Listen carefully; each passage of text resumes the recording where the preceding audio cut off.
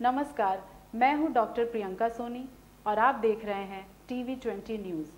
आप लॉकडाउन का पालन करें, अपने घरों में रहें, प्रशासन के निर्देशों का पालन करें। अब एक नज़र आज की खबरों की तरफ़। पूरे देश में लॉकडाउन के चलते काम न मिलने से गरीब परिवारों को रोटी की समस्या पैदा होने लगी है। तो वहीं टीवी ट्वेंटी न्यूज़ की टीम ने गरीबों और मजदूर परिवारों का ख्याल रखते हुए उन्हें राशन पहुँचाया है। और यह टीवी ट्वेंटी न्यूज़ के संवाददाता अक्षय कुमार और कानपुर देहात के संवाददाता अंकित शर्मा ने अछलदा ब्लॉक के आशापुरवा गाँव में पहुंचकर दो दर्जन से ज़्यादा गरीब परिवारों को आटा, तेल, दाल आदि खाने का सामान मुहैया कराया। राशन वितरण के समय सामाजिक दूरी का भी विशेष ध्यान रखा गया। सामाजिक कार्य से सभी ने टीवी ट्वेंटी न्यूज़ चैनल को धन्यवाद दिया है।